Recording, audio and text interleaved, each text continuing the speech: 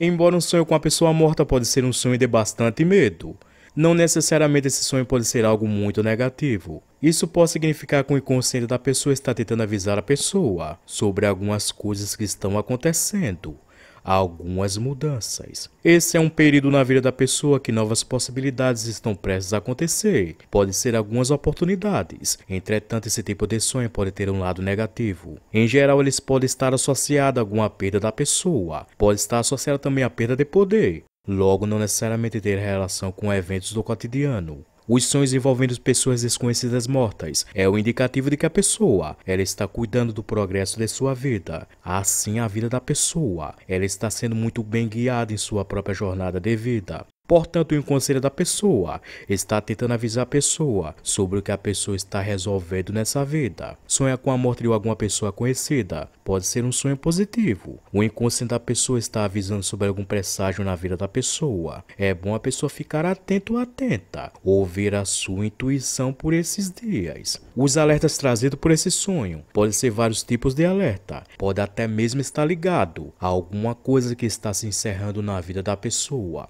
Provavelmente um sofrimento que a pessoa já vem tendo. Um sofrimento no âmbito de relacionamento, ou até mesmo um sofrimento para dinheiro.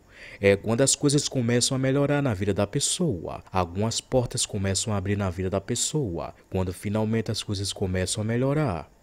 Curta, compartilhe e se inscreva, se ainda não é inscrito.